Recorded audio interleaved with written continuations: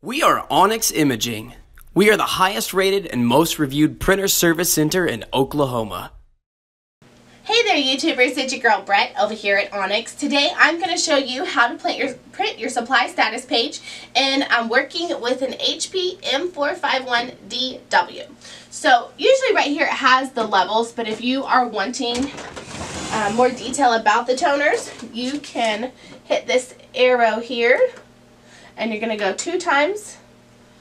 And then you are going to hit, it's going to say reports, hit OK. And then you are going to go to the right three times. And it says supply status. You then hit OK and it'll start printing your supply status page.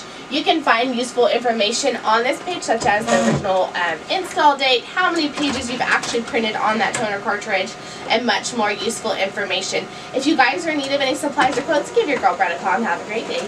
Thank you for watching. If you're interested in how you can receive free labor on all of your service calls, as well as how to qualify for free printer upgrades, contact us today. We are here for all of your printer and office supply needs.